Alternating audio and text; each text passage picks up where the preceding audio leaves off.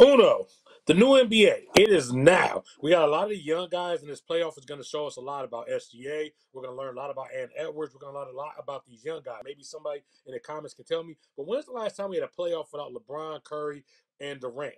There's a realistic chance, depending on how this plays out with the play and everything, that we could actually miss two out of three, one out of three. But at the same time, the NBA is eventually going to move on, and maybe we're headed towards that. Dose, Rudy Gobert. Yes, Rudy should be the defensive player of the year. I know there's been a big campaign for Wemby. Wemby's balled out. He's did his thing. And let's keep it a buck. I expect Wemby to win a minimum, and I mean very minimum, of at least three defensive player of the year in his career. But this ain't the time. His team right now, not good. The defense wasn't great.